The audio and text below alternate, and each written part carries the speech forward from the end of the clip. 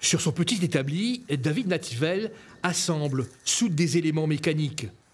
Le sculpteur détourne des pièces de moteur qu'il récupère ici et là et leur donne une seconde vie.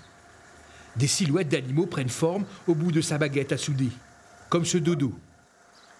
On a des engrenages, on a des pièces de boîte de vitesse, euh, euh, on a des doigts de soupape, camion, euh, des trucs de boîte de vitesse aussi, pas mal de trucs. Chacune de ces œuvres a une histoire. Cette toile de clé repose elle aussi sur une pensée de l'artiste. C'est une dame qui vend des, qui vend des clés. Et quand on m'a vu ça, on me dit, ben, ça récupère ça, on a 250 clés.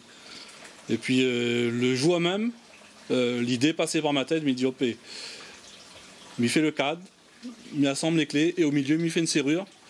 Et quand on m'a publié ça sur, Facebook, on m'a mis une citation de Mia Teresa qui disait euh, On n'a pas besoin d'une clé pour le bonheur, la porte est toujours ouverte. David Nativel n'a pas toujours été artiste. Il a travaillé pendant 25 ans dans le monde de l'automobile, puis il s'est lancé dans la construction de meubles en bois de palette. Il faisait de la palette, et quand on démonte une palette, il y en a des tonnes de clous à tirer, et le métal vient de là. Les premières sculptures qu'on m'a fait, c'est avec, euh, avec les clous.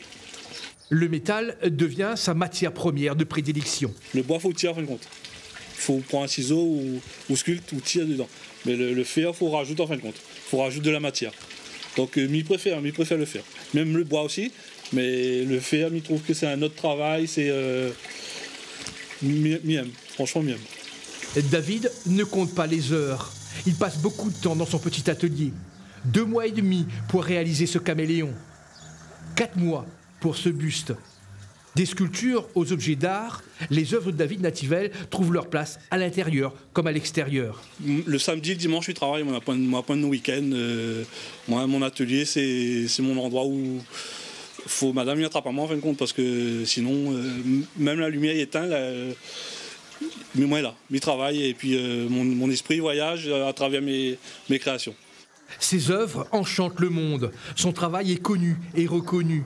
L'artiste exposera ses pièces en octobre à Saint-Leu, puis au Tampon en décembre. Le sculpteur de métal fera un détour auparavant par Séoul, en Corée du Sud.